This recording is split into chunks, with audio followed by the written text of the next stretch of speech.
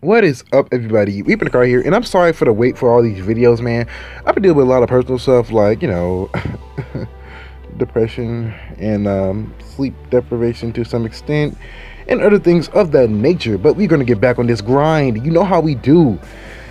Let's get it, and we're gonna do it right after this intro.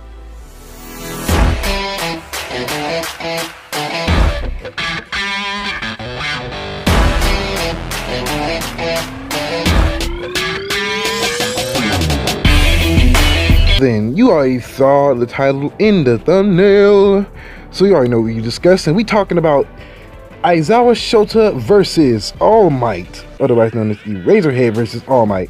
And I know I didn't say I didn't say this dude's name, all my, I didn't say his real name because, you know, I kind of forgot it on the low.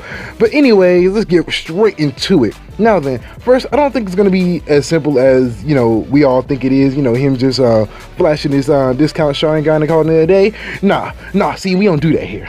Now, this is All Might, the number one hero. If it was that simple, then freaking Eraserhead would be the number one hero. But nah, nah, I think that All Might would actually surprise him if this was a like a conflict of some sort like say something happened and um, they just end up scrapping because they had different viewpoints on Midoriya.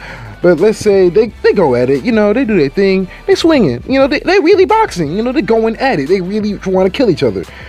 And like, I thought I was using his little scarf and uh, All Might, you know, being All Might, and you already know what All Might do. So like, you know, he, as, as I was doing a little weaving and, and, and dodging and countering and such, obviously it's barely even hurting All Might until Aizawa starts using his quirk, and that's what I think things get really, really interesting.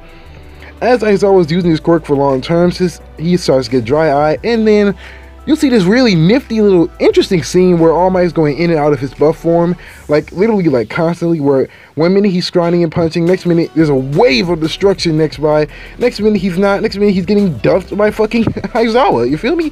And I think this fight will be really like very interesting to see because it's a different take on just the whole status quo of, you know, the Batman of the universe per se and the Superman of the universe per se. They're just really, really going at it. And like it's different because Aizawa basically he's every single person in the universe's kryptonite on deck, bro. All he has to do is look at him and not blink.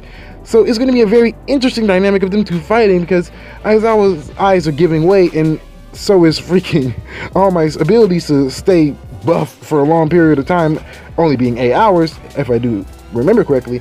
So this fight would actually drag on for a minute until it's like it's just like a semi reminiscent scene of when Naruto and Sasuke just did not want to stop hitting each other and they're both like exhausted. I think it's gonna be like that.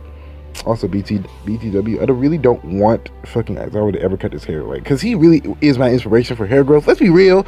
Just this man is gold for me. I mean, he just speaks to me in so many levels, and he just his his attire and fighting style. But anyway, I'm rambling. But yeah, that's the video. Hopefully, you guys enjoyed it. It's a little bit short, I think, but you know, like and subscribe, do all the good stuff, and I'll see you out to the next video. And peace out. It's been nice, real nice.